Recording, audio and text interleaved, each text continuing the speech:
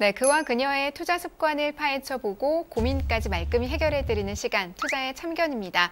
매주 저희 앞으로 다양한 사연들이 오고 있는데요. 요즘 특히 경기가 좀 어렵다 보니까 조금 힘든 분들의 사연도 많이 오고 있어요. 아마 사연 들으시면서 공감하시는 분들 많으실 텐데요. 저희가 이렇게 비슷한 사연 갖고 계실 만한 그런 사례들을 엄선해서 보여드리고 있으니까요. 같이 좀 이입을 하면서 보시면 경제활동 하시는데 도움이 많이 될 것 같습니다.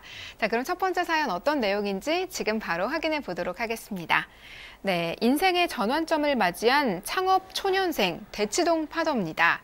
대기업에 다니면서 줄곧 내 사업을 좀 해보고 싶다라는 생각을 했었는데요. 이번 기회에 큰맘 먹고 회사를 그만두고 프랜차이즈 식당을 차렸습니다. 사장 소리가 듣고 싶어서 그런 건 아니었습니다. 음. 그렇죠. 네, 네. 창업을 꿈꾸는 분들이 음. 정말 많으시죠. 음. 직장 다니면서 아마 한 번쯤 그런 생각 안 해보신 경우는 없으실 것 같아요. 예전에 저도 직장 생활하면서 가장 꿈꿨던 이유가 아마 창업자, 그 오너, 사장님 소리를 듣고 싶었던 마음도 굉장히 깊었던 것 같습니다. 아, 네. 그러셨나요? 이 사연자분께서는 사장 소리 듣고 싶었던 건 아니다라고 음. 말씀해 주셨는데 어떤 배경이 있는지 조금 더 들어가 볼게요. 모아둔 돈과 퇴직금을 합해서 차린 사업이라서 따로 가게 대출은 없는 상황인데요. 남은 자금 또한 없는 실정입니다. 장사가 잘 될 것을 기대하면서 벌인 사업인지라 앞으로의 수입으로 나갈 지출들을 메꿀 생각이었는데 정말 코로나19의 직격탄을 실감하고 있네요. 개업발이 끝나자마자 터진 바이러스 열풍에 손님은 없을 뿐더러 매출도 거의 없는 상황입니다. 어, 여보, 나왔어. 뭐야, 벌써 왔어? 마감 시간 되려면 아직 많이 남았잖아. 아, 손님 있어야 장사를 하지. 알바들도 할 일 없어서 빈둥 빈둥대고 돈이 줄줄줄줄 새가라는 마음이 들어서 미리 문을 닫고 왔지. 아휴, 이게 뭐야. 가게만 차리면 나 사모님 소리 듣게 해준다며. 몰라, 정말. 미안해. 이런 사태가 발생될 줄 몰랐지. 그럴 줄 알았더라면 좀 더 고민하고 결정할 걸 그랬었나 봐. 아니, 소라 가입이며 명진이 학원비 이것저것 따지면 매달 200만 원씩 나가는데 애들 지금 중요한 시기라 당장 그만둘 수도 없고 아파트 원리금은 또 어떻고 가게 임대비는 또 어째? 그동안 다달이 갚기에도 텐데 앞으로 어떻게 해?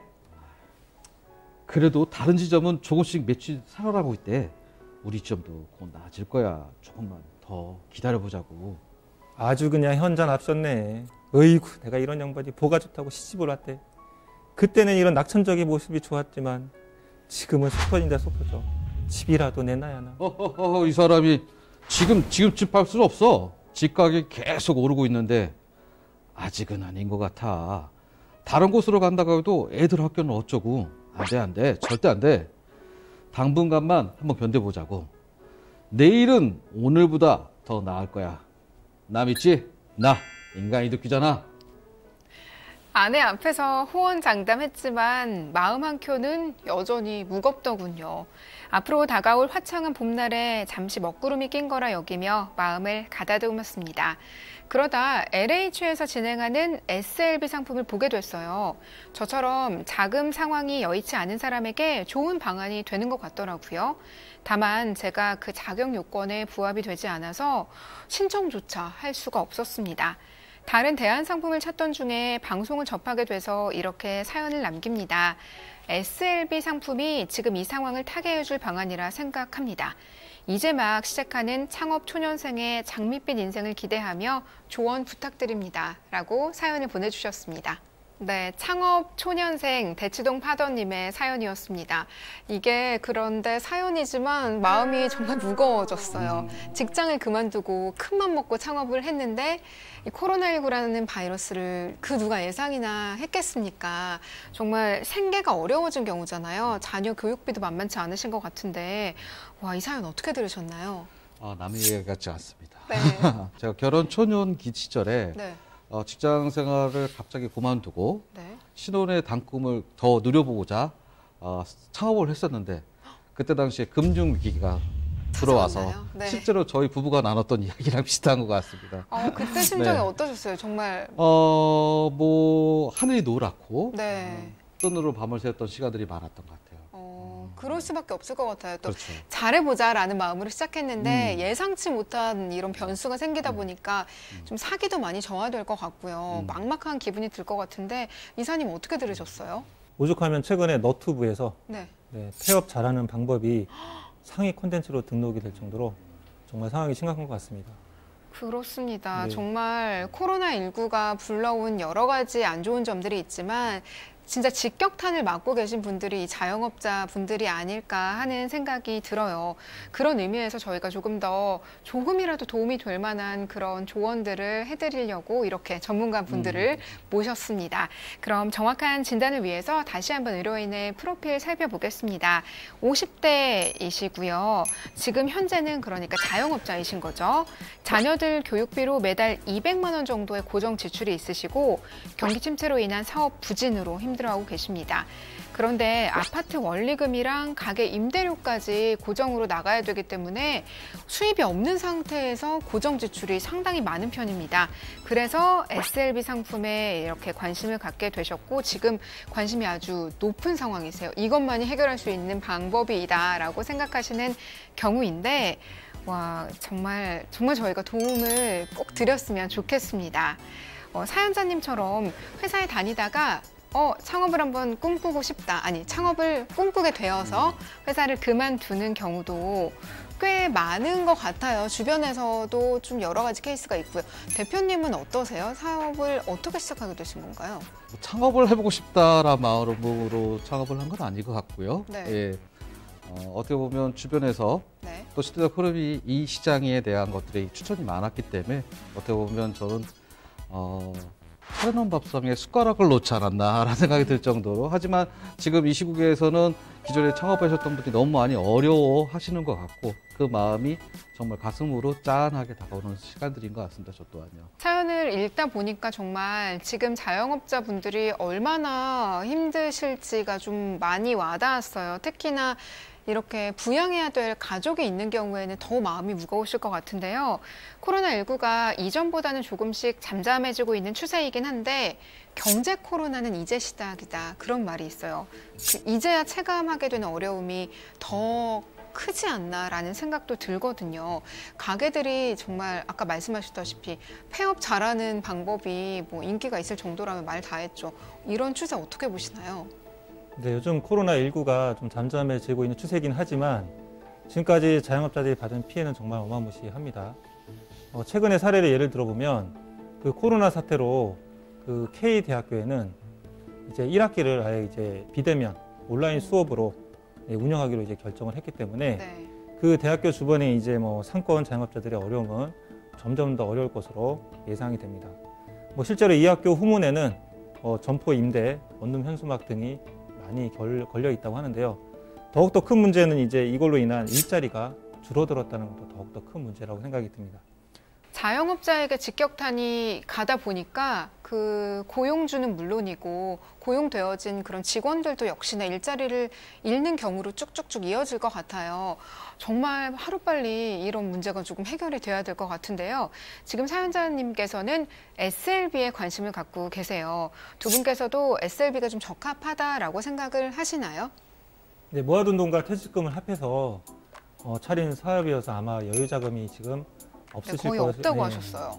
그리고 또 매달 나가는 뭐 원리금이라든지 또 아이들 교육비까지 하면 이 당연히 수입이 없는 시점에서 부담스러울 수밖에 없을 것입니다. 또 아마 창업을 위해서 몇 년간 또 준비를 하셨을 텐데 이런 일시적인 코로나로 가게를 접는 거는 정말 사연전 분께 너무 큰 피해가 아닐까 싶습니다. 네. 자, 하지만 SLB는 제가 지난 시간에도 말씀드렸지만 5년 동안 임차인으로 살 수 있는 기회를 주기 때문에 그 안에 경제적으로 좀 회복을 하신다라면 5년 후 또 우선 매입할 수 있는 네, 또 바이백 옵션 살 수 있는 권한을 또 드리기 때문에 네, 저는 SLB를 아마 생각하고 있지 않았나라는 생각이 듭니다. 네, 사연자님께서도 여유 자금이 지금 없다고 하셨는데 지금 이사님 말씀하신 것처럼 당장 사업을 접기에는 조금 아까운 면이 있어요. 이제 막 시작했기 때문에 한 번만 더 기회가 있다면 또 확 도약하실 수도 있잖아요. 어, 그래서 SLB가 좀 적합한 상품이라는 거는 다들 동의하시는데요. 주택공사에서도 SLB 상품을 진행하고 있잖아요. 사연자님께서 여기에 부합하지 않는 이유는 무엇일까요? 어, 우선 뭐 사연자분께서 지금 대치동파파라고 하셨던 것처럼 그렇죠. 강남에 거주하고 계세요. 그렇죠. 보통 일반적으로 봤을 때 강남에 거주하시는 분들은 대부분 선방의 대상이고 어, 대단한 자산이 있다라고 생각하지만 자금이란 그렇습니다. 인체 내에 흐르는 혈액처럼 원활하게 꾸준히 흘러가야 되는데 지금처럼 경직되고 멈췄을 때 문제가 생기는데요. 네. 현재 사연자분께서 거주하고 계신 아파트가 매매가가 약 18억 정도 되신다고 합니다. 네. 네, 18억 정도 되다 보니까 현 정부에서 주도하는 SLB 상품에는 5억 원 이하의 상품만 가능하기 때문에 적합하지 않을 수 있습니다. 네. 현재 LH 그러니까 정부에서 내놓은 SLB 상품도 있는데요. 그 경우에는 주택 매매가가 5억 이하여야만 신청할 수 있는 자격 조건에 부합이 됩니다. 그런데 사연자님께서는 강남구 대치동에 거주하고 계시고 현재 살고 계신 아파트의 매매가가 18억 정도로 추정이 되기 때문에 정부 주도의 SLB 상품에는 부합하지 않는다라고까지 정리해 드리겠습니다. 네, 사연자님께서 SLB 상품에 대해서 알아보시던 중에 국가기관에서 운영하는 건 적합하지 않은 것 같고 대안 상품을 찾다 보니까 저희 방송까지 오게 됐다고 말씀하셨잖아요. 그렇다면 국가기관 말고 P2P 업체에서 운영하는 SLB는 어떤 조건들이 있어야 좀 신청할 수가 있을까요? 앞서 설명드리기 전에 국가기관에서 운영하고 있는 SLB 상품에 대해서 먼저 설명을 드리도록 하겠습니다. 국가기관에서 운영하고 있는 SLB 상품은 두 개의 기관에서 운영을 하고 있는데요. 어, 캠코 그리고 LH. 캠코는 한국자산관리공사라고 하는 공공기관이고요. 그리고 LH는 주택, 그러니까 토지주택공사에서 운영하고 있는 SLB 상품이 있습니다. 어, 먼저 캠코에서 운영하고 있는 SLB 상품에 대해서 설명을 드리면 어, 부부 합산 연소득이 7천만 원 이하 그리고 주택의 가격이 6억 원 이하의 상품 그 가치를 평가하고요. 어, 주택은 1가구 1주택자 그리고 실거주 요건을 갖추고 있어야 합니다. 어, 또 다른 예시로 말씀드렸던 LH 공사에서 운영하고 있는 SLB 상품은 어, 전년도 도시 근로자의 가구당 평균 소득 120% 이하의 일 것입니다. 그래서 이 금액을 합산하여 그 계산 추론해 보면 어, 2018년 도시 근로자 연평균 소득이 120% 이하라고 하면 3인 이하면 월에 640만 원 정도 되는 금액이고요. 4인 가구 기준일 때는 730만 원 정도의 소득을 갖고 계신 분들 이하라고 생각하시면 될 것 같습니다.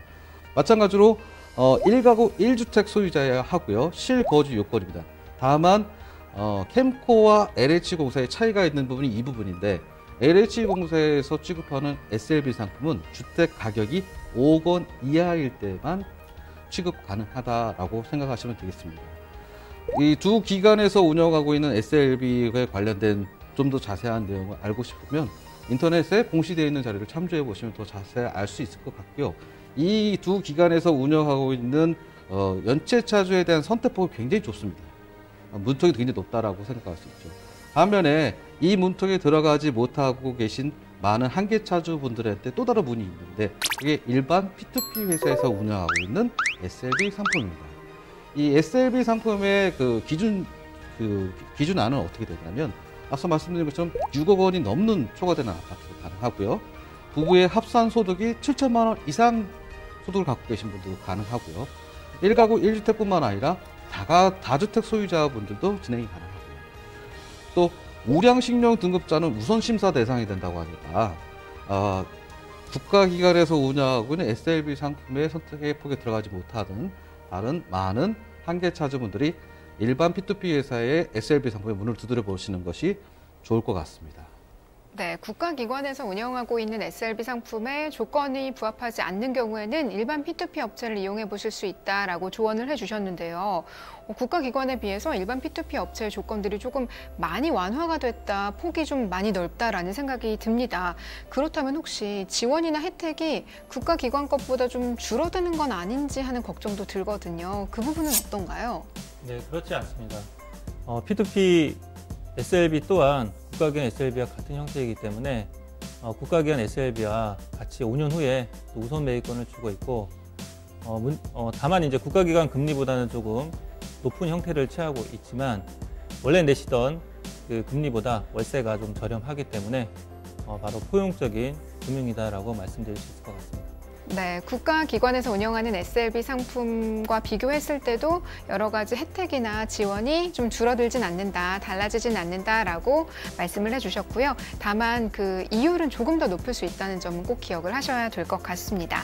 자, 그렇다면 이 SLB라는 상품 자체에 대해서 조금 더 공부를 해볼게요. 국가기관 또 P2P 업체에서 운영하고 있는 이 모든 SLB의 장점이라고 한다면 어떤 것들을 꼽아볼 수 있을까요? 키워드를 뽑아서 생각한다면 두 가지 관면을 생각 할 수 있습니다. 첫 번째로는 포용적 관념, 포용적 금융에 대한 성격이 있고요. 두 번째는 시간과 기회를 제공해 준다는 관점이 있습니다. 즉 앞서 말씀드린 것처럼 포용적 성격. 어, 지금 대부분의 많은 분들이 주택담보대출을 받으실 때 예전처럼 만기 시상으로 이자만 납입하시는 게 아니라 원리금까지 같이 상환하시다 보니까 가게에서 부담하고 계신 원리금 상환에 대한 부담이. 굉장히 굉장히 높으시지 않습니까? 네. 이런 분들에게 포용적 금융으로 어, 또 다른 기회를 제공할 수 있는 시간과 기회를 드린다. 즉 다시 말씀드려서 어, 앞서 말씀드린 국가기관이나 일반 P2P 업체에서도 어, 약정 기간 약 5년이라는 시간 동안에 임대료와 그 주거의 안정성을 제공하고 5년 후에 재매입할 수 있는 우선 매입권을 준다라고 하는 내가 다시 정상화 신용을 회복할 수 있는 그 기회와 시간을 제공한다는 두 가지 관점이 굉장히 중요하다고 생각할 수 있을 것 같습니다.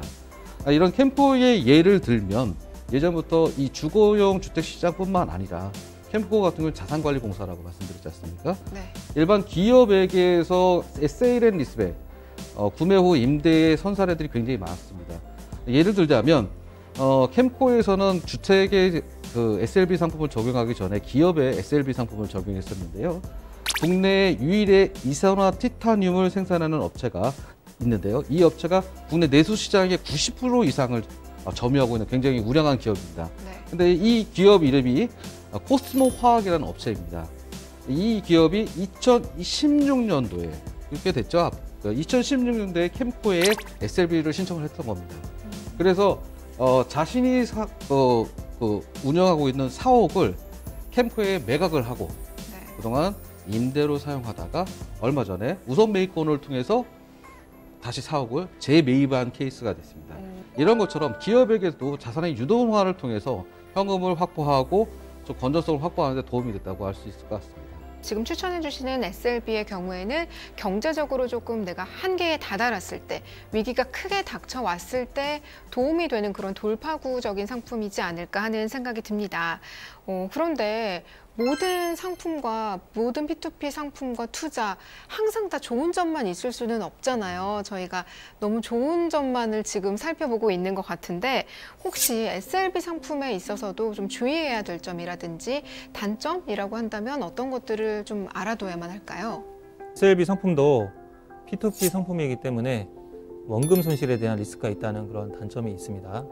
아, 그리고 한계 차주 입장에서는 만약에 3개월 이상 연체를 하시게 되면 또 법적인 문제가 있을 수 있다라는 그런 또 단점이 있습니다. 네, 한계차주 입장 그리고 투자자 입장에서 모두 P2P 상품이다 보니까 장점과 단점이 있다는 점을 꼭 명심하시고 상품에 대해서 조금 더 깊게 정리를 해주시면 좋을 것 같습니다. 자, 그렇다면 P2P SLB 펀딩 투자가 이루어지는 과정을 한번 좀 자세하게 짚고 넘어갈까요? 네, 그 한계차주가 주거의 상실의 위기에 있을 때 SLB 상품에 대해서 문을 두드리게 되겠죠. 네. 그러면 그 상품이 적용이 되는지 안 되는지 검토를 하게 될 것이고 만약에 그 상품이 아, 취급할 가능하겠다라고 하면 아, 일반 P2P 회사에서는 그 상품에 대해서 투자금을 모집을 하게 됩니다.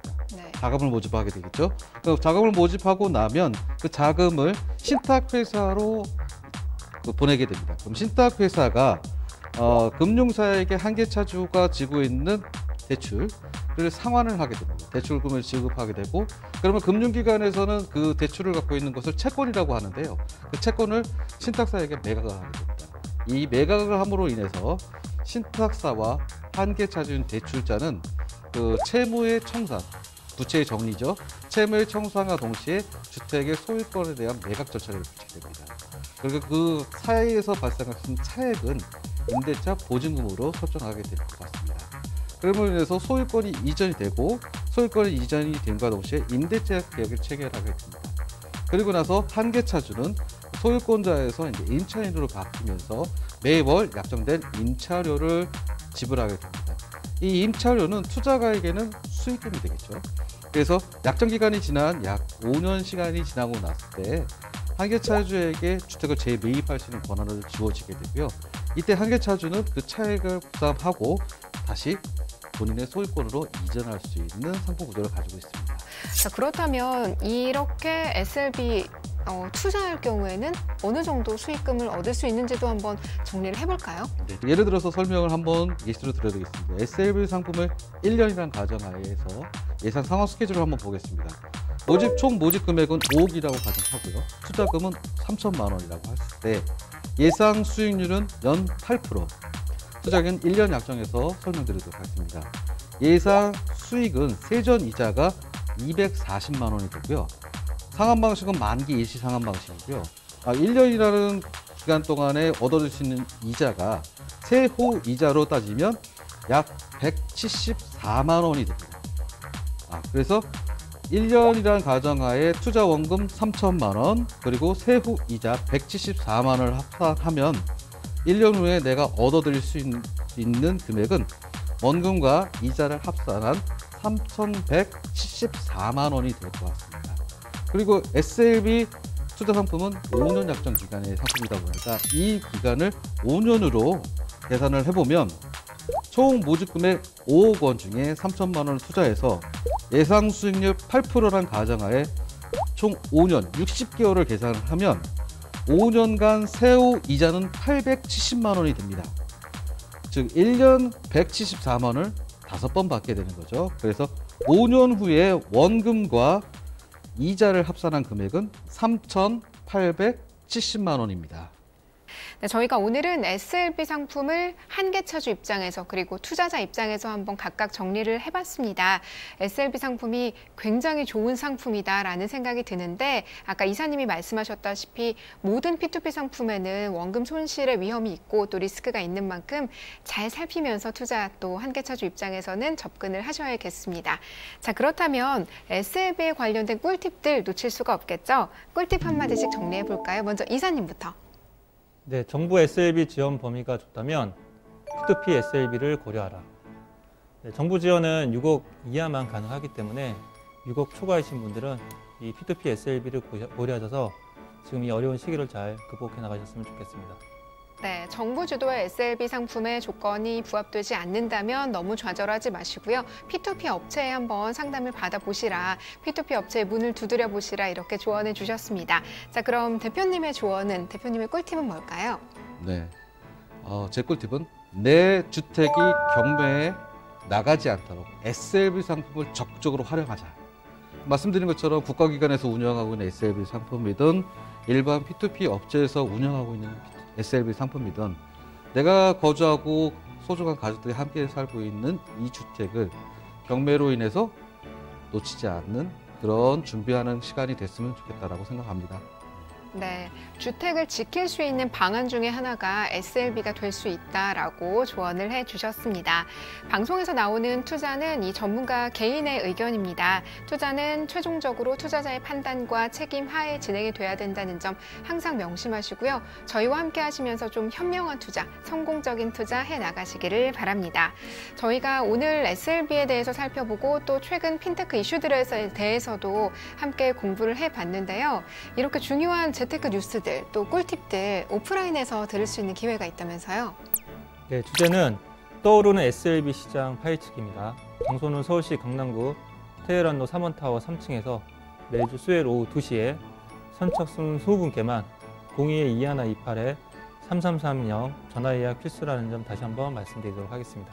네, 방송 시청하시다가 궁금하신 점 있으시거나 또 전문가의 상담을 한번 받아보고 싶다 하시는 분들은 역시 같은 번호 022128에 3330번으로 전화 주시기 바랍니다. 저희가 방송 중은 물론이고요. 방송 끝난 이후에도 언제나 친절한 상담 도와드리도록 하겠습니다. 자, 오늘 두 분과 함께한 내용은 여기까지인데요. 어떠셨어요, 오늘 방송? 어, 저는 개인적으로 그런 생각합니다. 지금 모든 사회에서 나온 뉴스도 그렇지만 혼란스러운 사회일수록 무게 중심점을 갖고 정신을 똑바로 차려야 하지 않을까라는 생각이 드는 것처럼 이제 그 다가오는 모든 문제들에서 중심점을 찾는 그런 시간이 됐으면 좋겠고요. 오늘 오늘 한 시간이 굉장히 유익하고 행복했던 것 같습니다. 네. 네, 오늘 정말 경제 공부도 많이 됐고요. 저의 경제 과외 선생님이시잖아요. 최근의 이슈들은 물론이고 또 사연자님의 그런 감정에 이입해서 설명을 듣다 보니까 도움이 많이 됐을 것 같아요. 이사님 오늘 방송 어떠셨어요? 아, 저는 오늘 사모님 연기를 처음 하면서 주부의 마음을 느낄 수 있었습니다. 어떠셨던가요? 네, 아, 주부들이 굉장히 힘들구나. 네. 그런 마음을 느껴서 어, 오, 오늘은 좀 이제 사회가 어렵지만 네. 입장을 바꿔보는 시간을 한번 가져보셨으면 좋겠다는 생각이 듭니다. 네, 오늘 굉장히 큰 깨달음을 얻고 돌아가시는 이사님입니다. 네, 저희가 이렇게 사회 트렌드에 맞고 또 지금 경제 흐름에 맞는 좀 사연들, 이야기들 위주로 소개해 드리려고 합니다. 그러니까 경제 고민 갖고 계신 분들 요즘 정말 많으시죠. 저희와 함께 하시면서 또 궁금하신 점 있으신 분들은 언제든지 문의 주시거나 저희 앞으로 사연 보내주세요. 저희가 최대한 도움이 되는 정보들 그때그때 바로 전해 드리도록 하겠습니다. 자, 그럼 오늘 도움 말씀 주신 두 분과는 여기서 인사 나누도록 할게요. 오늘 말씀 감사합니다. 네, 감사합니다.